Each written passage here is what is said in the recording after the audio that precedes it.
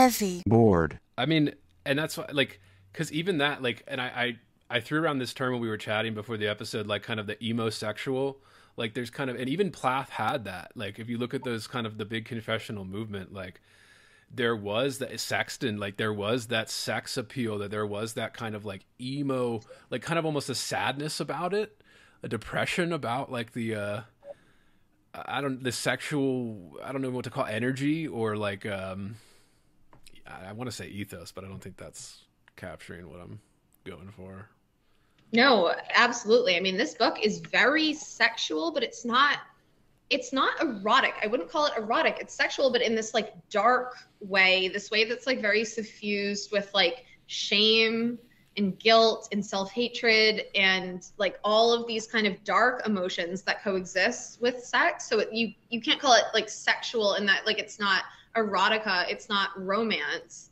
But one thing actually like sort of side tab, I guess.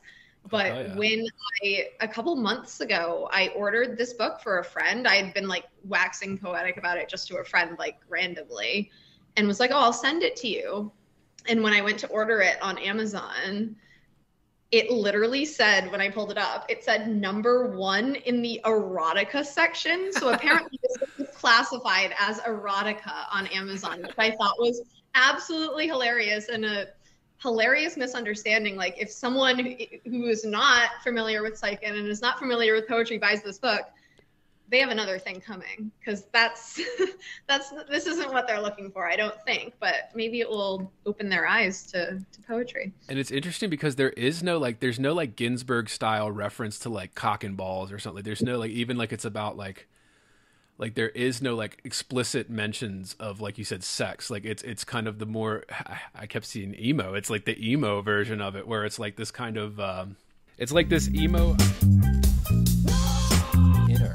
Resources, American resources. Being bored.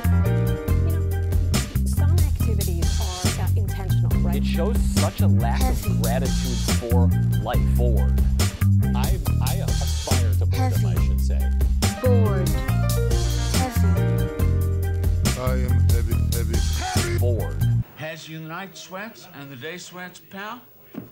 Pal, I do.